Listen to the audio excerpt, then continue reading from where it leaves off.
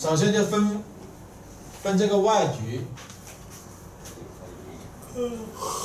外局是前面一片，这里后面一片，啊，如果是你分内局的话，拉一个十字线，在前面一片啊，属于临水，后面一片属于正水。就是说，你房子的前半部分布这些流动的东西比较好啊，布水啊，布金鱼缸啊，挖塘啊，做什么啊？就在前面。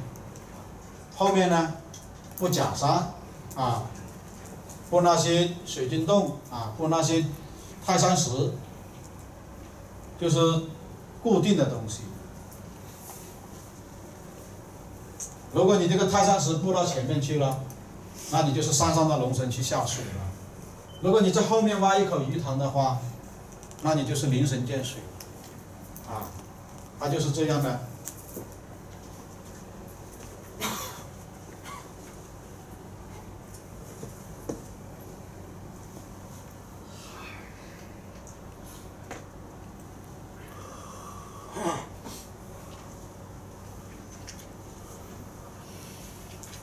这里又讲到一个室内布局啊，厨房是以山论还是以水论？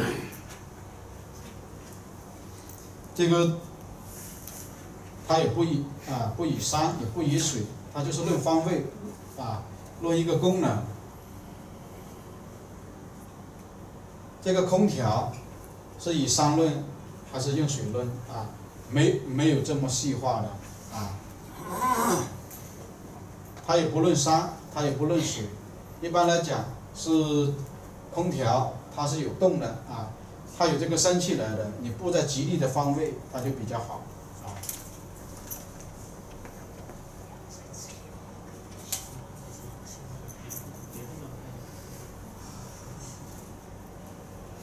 这里有讲一个子山五象兼人丙啊的池塘。或者是紫山五象兼贵丁，它主错天井的出水口的方位在哪里？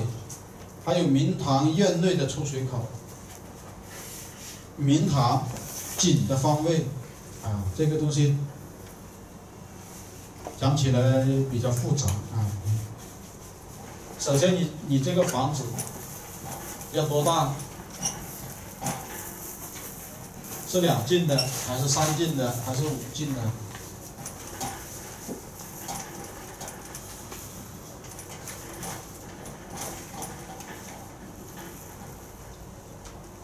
啊，拿我们最普通的啊两进的来说。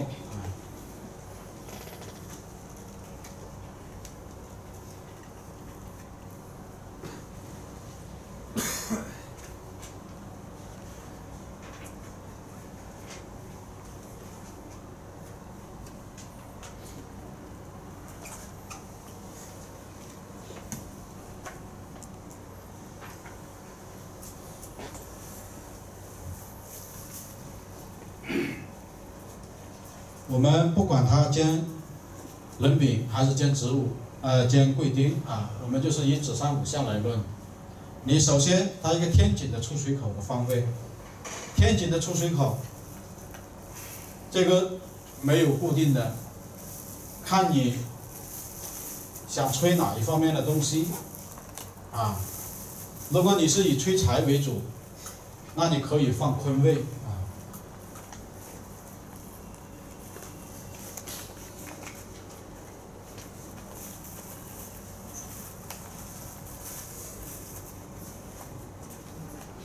如果你吹金贵，那你可以放巽位。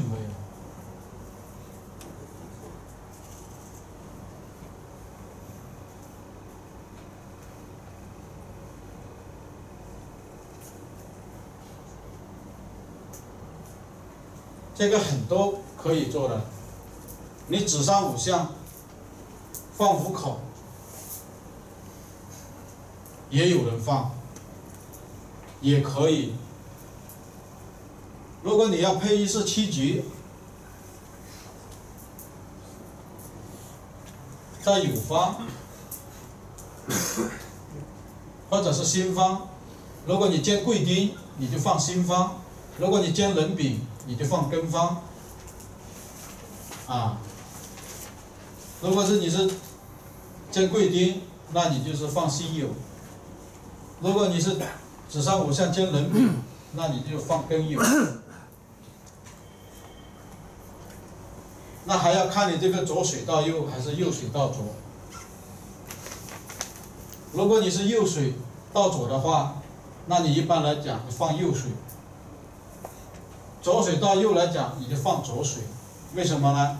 啊，比如我右水到左了，我放在这里，那你这里出去之后，是不是还要经过这里？它等于又经又一次经过我们明堂。那如果你右水到左，你水又放这边呢，它这个叫做顺水走。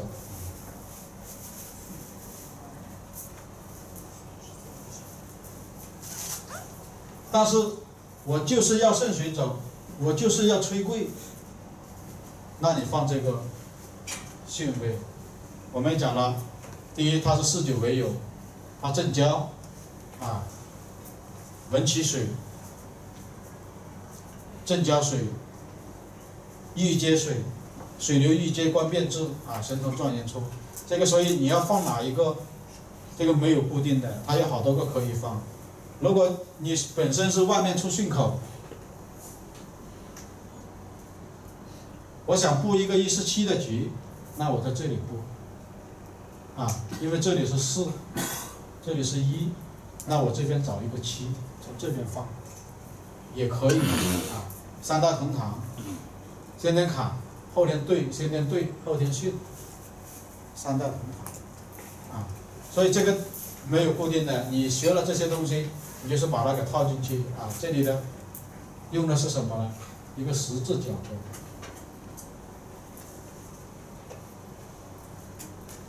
一个先后天角度。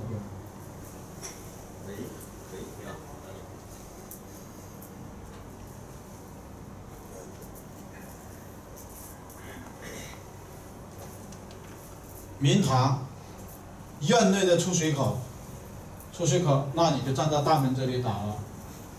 这个就还更是这样了，你缺少哪一样，你需要补哪一样，啊，一般来讲是分开来的。如果你这里放巽水，那我这里就围围墙内我就放坤水，啊，照配。你这里有了正交，我这里放反交。我我如果里面放了反交，那外面我就放了正交，把它这个理气把它给配齐，啊。都没有都没有固定的，一定要一定要在哪一个位置，或者是看你想吹长，还是吹低，还是吹贵，啊，还是想布什么局？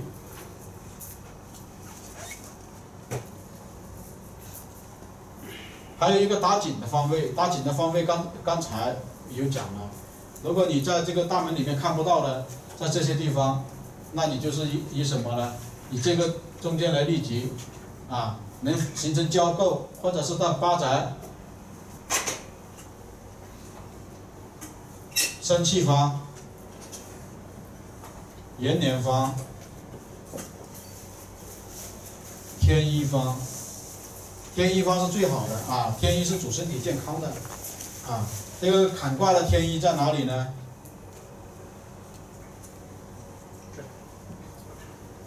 它就是在正方。在东方，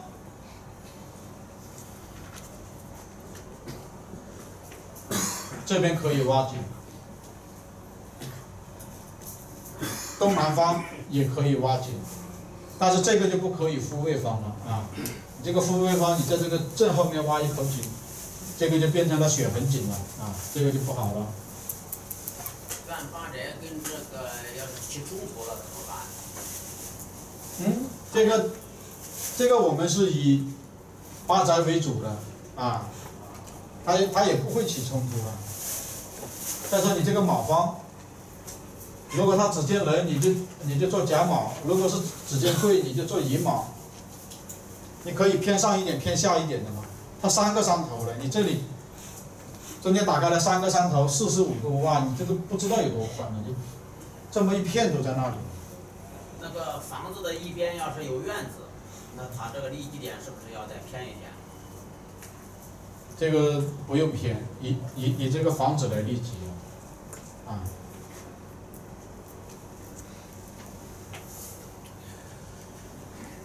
这种四合院儿以前期的中心点立基，还是整个院子的呃中心点立基？啊，以这个房子的中心点来立基，啊，不是以这个整整个地块的。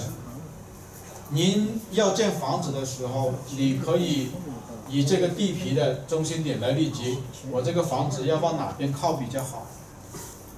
根根据这个根据这个形式来，啊，比如这边这边有房子，这边有房子，如果我这边的山比较紧，那我的房子就往这边做；如果这边的山比较紧，那我房子就往这边移。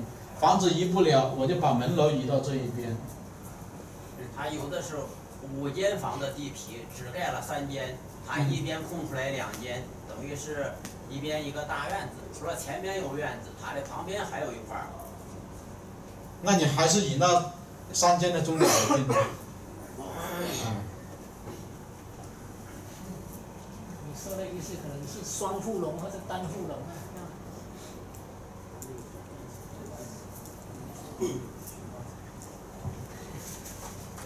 我明白。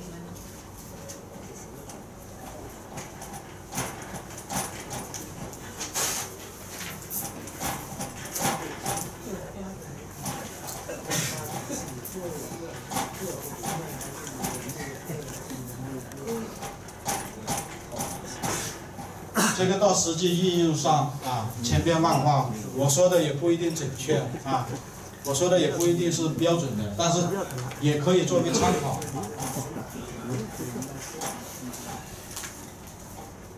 因为我们相对来讲是可以这么说啊，看过的东西是比较多啊，实战经验比较多，就是说南方也好，北方也好，我们都有去看过啊，都有去看过，所以你说的东西。因为我们没有到现场看，也不一定百分百的标准，但是我们是提了一个意见供参考。但是您去到现场，还是根据你现场的判断，怎么样比较合适？好像医院韩老师定这个立基点一样，这个师傅也教不了这么多啊，是吧？你去到现场，你然后自己总体格局去看，我怎么样做比较合适，怎么样去做比较合理，那对不对？那这个。事后就知道了啊，经过检验就知道了。这个教材七十面有那个阴宅立棺木的中心点立基。啊？嗯，这个教材的第七十面，有说这个阴宅的立基点，这个中心点在棺木的中心点，那是是讲坟头。讲那个坟包是吧？哎，是不是那个意思？啊。它一般来讲是我们很多地方啊，包括北方，包括我们这个有些地方，就是说它不是啊依山而建的，它就是呃开井挖池放下去的。它一般来讲，那个土堆就就是土堆的中心啊，就是那个碑的中心。但是我们看来气水，还不是在那里看的啊，看来气水还是在一样的在前面点香的那个位置来看。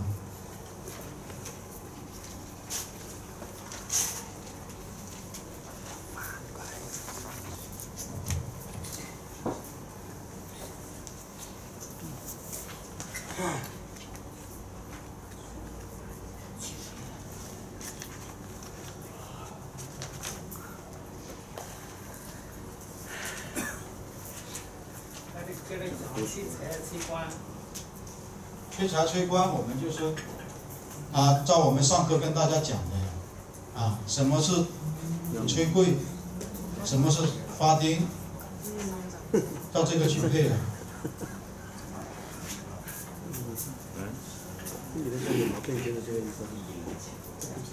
但是我从来就没听过人家以这样来论，没听过。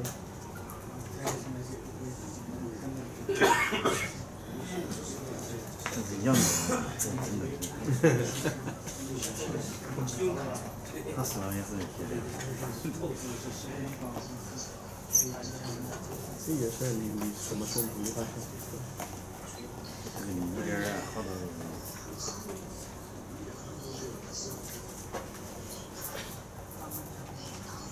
我们这里有个问题啊，它就是商品房是不是以大门定向啊？这个我们这两天说的比较多啊，或是以阳台为向。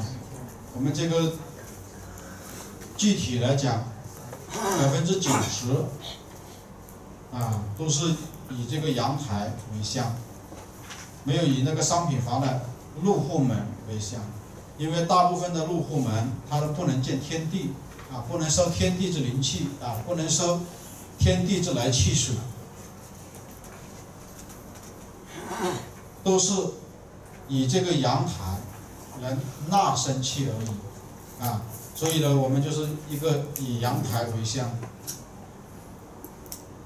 还有这个选房，是以谁的生肖来论这个生克？这个就是要看你自己的算盘是怎么打的。是吧？啊，如果你心疼老婆，以你老婆的生肖来来选也可以。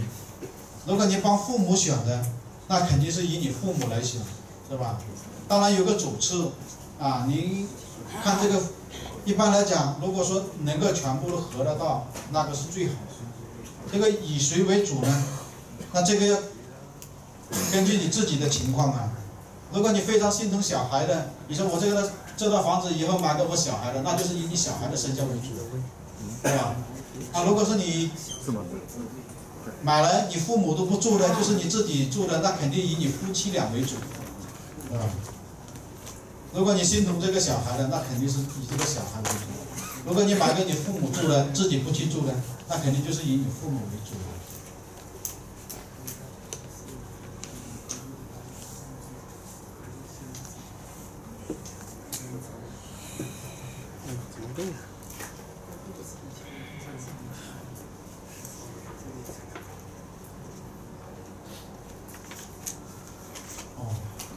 还有时间的话，我就跟大家讲一讲这个毛泽东的啊那个嫦娥奔月。如果说没有其他什么意外问题的话呢，我们可能就是这一次考察，可能又会去湖南啊，因为我们现在时间比较紧张。如果你要去一个地方的话，就需要我们当地把这个景点帮我们找出来，然后安排好。因为这个地方是我们去过了的，相对来讲，如果大家要再去呢，就比较方便。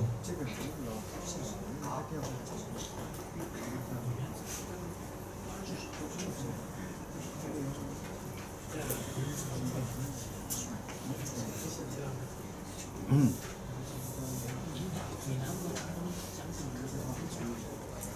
我们看看毛主席，毛主席这一个嫦娥奔月的这一个风水啊。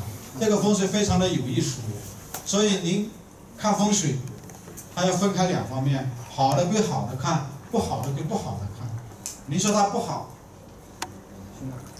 他除了毛呃毛主席，啊，你要说好，这个祖坟葬下去之后，这个家里的人丁，啊损损丁又损了这么多。那它究竟好还是不好呢？所以我们就把它分开来看啊。这个是湖南的特有的一种葬法，就是碑在后面，这个坟在前面，啊，然后我们这个打在哪里打呢？也要站在前面来打，不能站在这个碑前打啊。站在碑前打，它就跑到后面去了。这个是虎穴坪。它的一个风水，它后形叫做嫦娥奔月，所以好多人，这个我们当时去考察的时候，大家在那里讲哪一点像嫦娥，怎么样奔月啊？那这个所以去到里面你就看不出来啊，他要去到那对面，他基本上少峰是这样。一直下来啊，这里这边非常陡，这边分了一条脉出来啊，这边分了一条脉出来，这边呢就是一个上峰的一个顶。我们这个穴位坐在哪里呢？啊，坐在它下阴的位置。所以这个是我们没有这个绘画水平啊，这个要我们习老师就可以画得到很漂亮，是吧？但左边一个青龙砂，像它的一个大袖子，啊，右边一个白虎砂，像它的一个大袖子，啊，然后呢，它这个顶峰非常的高，啊，然后我们爬过抚仙坪的也都知道，它这里的山很急很陡，它就是这样斜斜的。往上飘，啊，所以它就叫一个嫦娥奔月。如果你去到这里面，什么形也不像，是吧？所以刚才讲有有讲一个鹤形，那这个东西很难界定，啊，你去到这个大去看又不一样，小去看又不一样，关键是看你站在哪个角度，你想鹤什么形，啊，它偏向于偏向于哪一种形？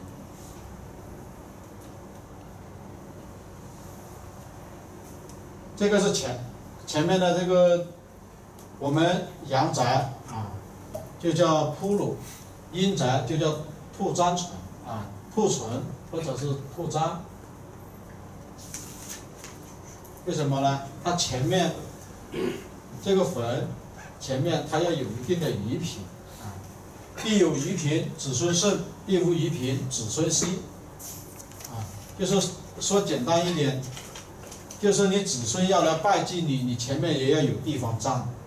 如果你前面一点余品都没有，怎么可能有很多子孙呢？你很多子孙来了，站到哪里去呢？站到你墓后面去吗？对吧？啊，所以这个余品跟我们的人丁非常大的关系啊。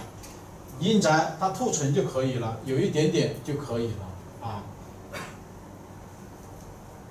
如果是阳宅呢，它就要铺路。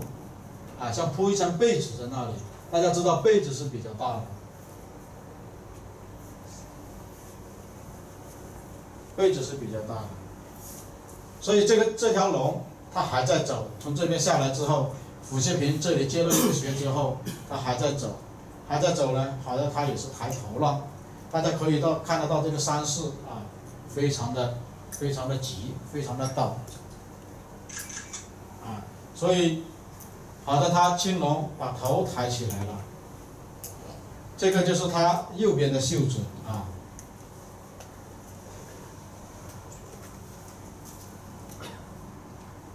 他的祖坟这个龙来的很高，而且很急。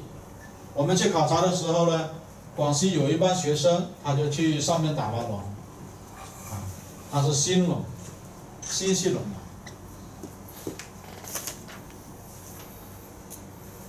它这里一直往这里下去呢，这里一直往前面走，它分了一条脉下来，啊，把这里给关住，形成了犬牙交错，所以呢，它还是这里，这里一包回来，我们是讲看地先要看下山啊，这个未看来龙稳不稳，先看下关收不收啊，所以这个下关非常重要的了。他把这个下山关回来了一下，但是呢，还是因成一个漏斗形。为什么呢？它这里是小，慢慢它越来越大，像一个漏斗一样。就是说来的地方就少，走的地方就宽，啊，来短走长，赚一百块钱，可能花了一百五十块钱，啊，所以呢就不聚场。所以毛主席的时候呢，他也清贫，啊，全国人民也清贫，到后来建了一座水库，啊，相对来讲就好一点了。后来在这里建了一个水库，啊，相对来讲好一点。他这个祖坟是这样像的，所以呢，他右边的白虎非常的高。啊，非常的高，白虎高是什么？白虎高是女人掌权，而且呢，他在这里的话，白虎是不是过了他的中堂？过了他的中堂呢，就叫做白虎穿堂啊。白虎穿堂本身就是单打少年了啊。宁宁愿青龙高万丈，不许白虎来抬头。白虎一抬头，那相对来讲这个就不好了啊。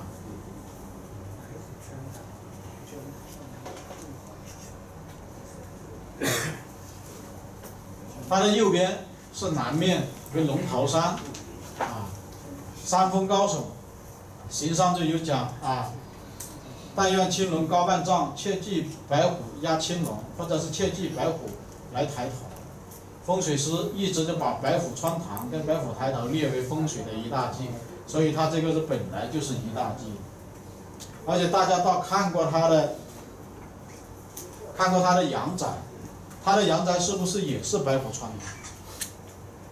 是吧？它也是白虎穿堂，而且它这个阳宅的白虎穿堂穿的还更厉害，他还不叫穿堂，它叫白虎掏心啊。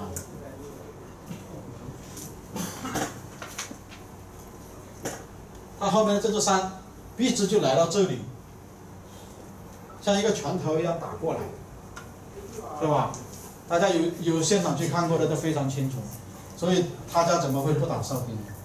打哨兵很厉害。那个阳宅人不住那里，人到外面革命的人也会对他有影响。哎，他家里有香火啊，家里有人呢、如果你家里没有人，没有香火，你废弃了，啊，没有祖宗牌位，没有人烧香，他就是不管事啊。家里有人，有人烧香，他就管事的呀。啊，你风水你跑再远，哪怕是你跑到美国、新加坡，只要这个地方有人跟，它还是有起作用的啊。所以呢，白虎是什么呢？白虎是好斗啊，所以他一辈子都没有停啊，没有停停息过斗争啊。到最后那些啊老革命都斗完了啊，他右边有一块这个石头，这个石头非常的重要，为什么呢？它这个龙是往下走的啊，十十九节有这个石头来把这个气可以收一下。我们不是讲有几个地方几个可以收气的吗？一个是水可以收气，一个是石石头可以收气，还有一个是暗山可以收气。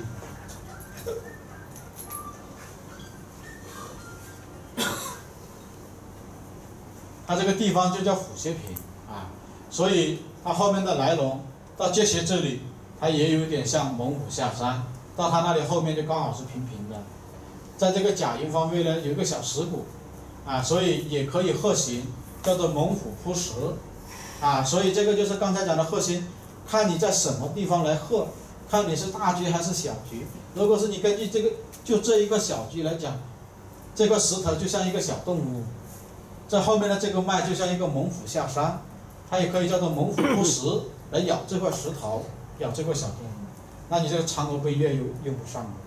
啊，所以这所以这个东西，鹤形它没有啊没有说那个标准的，而且呢，它这个在左前方，它本来是白虎墙的，啊白虎墙的，所以它青龙方它抬头它就护主了，然后呢，它就把这个气给收起来了啊，而且它这个在形式上它叫印记无银甲出师无，在银甲方有山峰。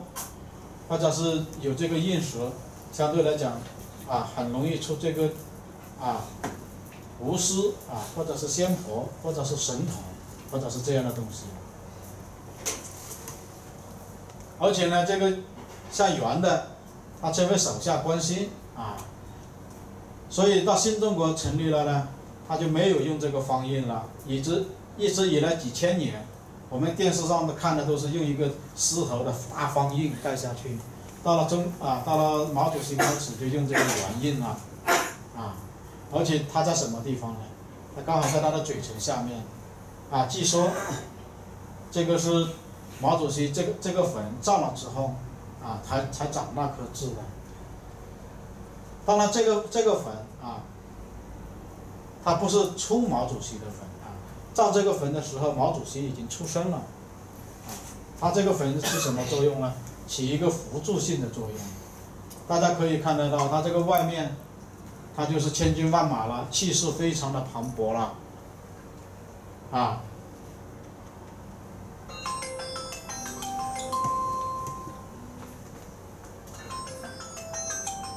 所以它这个外局非常的漂亮，而且韶山七十二冲，它这里是七十一冲，这里是七十二冲啊，就是说差不多到尽头龙了，但还不算是尽头龙。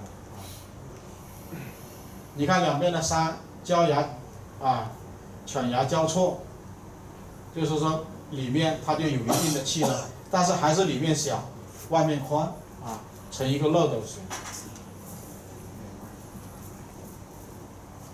有啊，当然。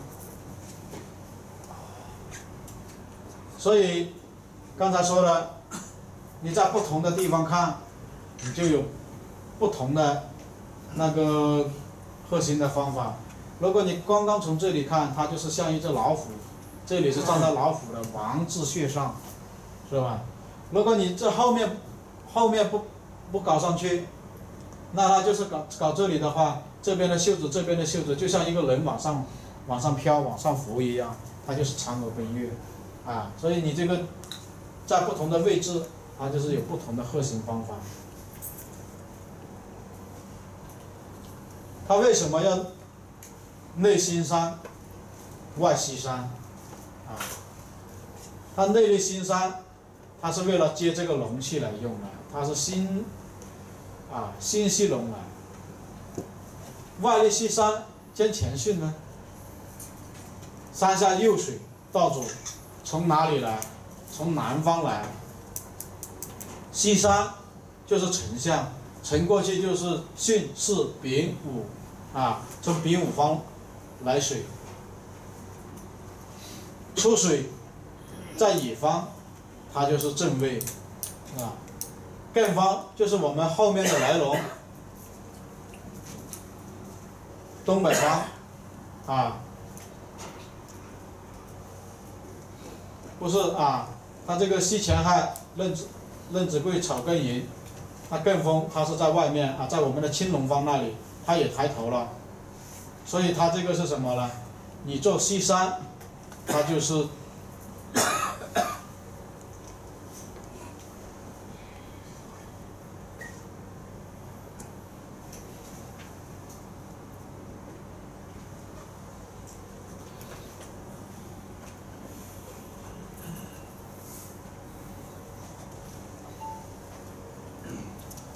大家可以看，它就是一个什么格局？六、三、九，啊，艮方的风，啊，它就是一个四大同堂。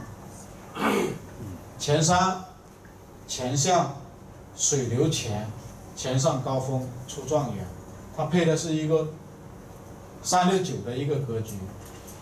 那如果你做新山的话，那你这个就是新山。它气数，啊，心山以上，本山走本口，那你这个理气就很轻了，完全没有，完全没有什么用。它为什么不是细兼心呢？它要细兼钱呢？啊，它这个就是辰戌丑未扣金龙，动得永无穷。它一定要配上乾坤艮巽，它才有力量。如果配上辛，它这个力量就没有了，啊，力量就没有了。所以它要配什么呢？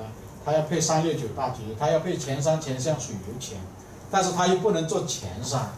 如果做前山，本来在右边的井，那你又向到这里面去了，那还更没有，是吧？啊，所以他这个都前前后后都有考虑的啊。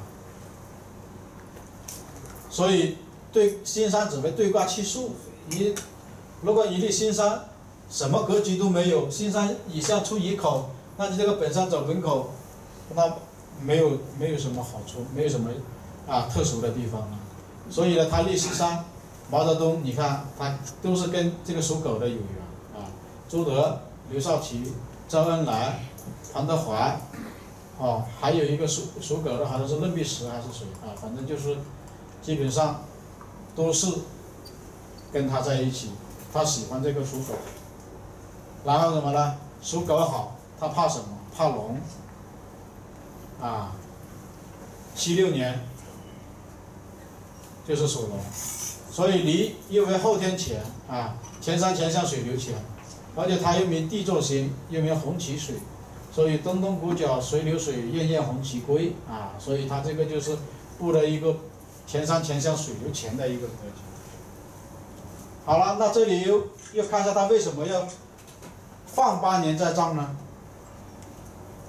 他死是在一九零四年啊，他到一九一二年才正式的下葬。毛主席是什么时候出生呢？是一八九三年。一八九三年，哪怕是就算你一九零四年葬下去的时候，他也是十一岁了，是吧？啊，所以他已经出生了啊，他这个是对他有辅助。他为什么当时一九零四年不做呢？到一九一二年才做呢？一九零四年是甲辰年，我们如果不知道一九零四年是什么年，那我们可以加六十年，一九六四年一样的啊，多轮多轮一个甲子，它就是一样的。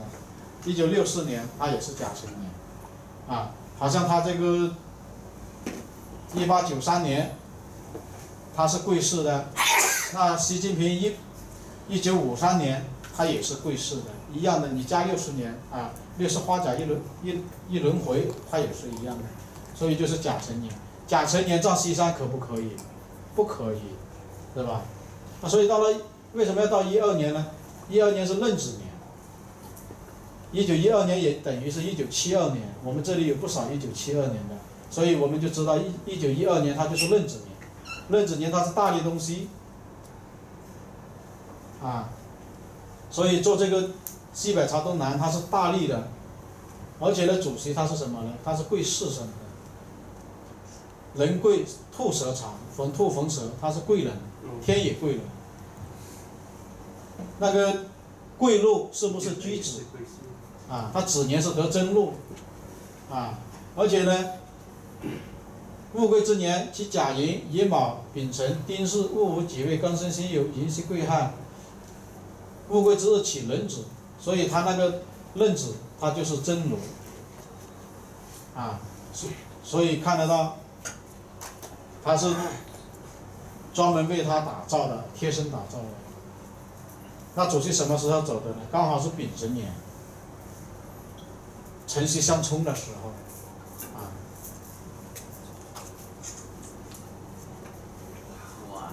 这个是我们那一年去那边考察啊，也接近两百人啊。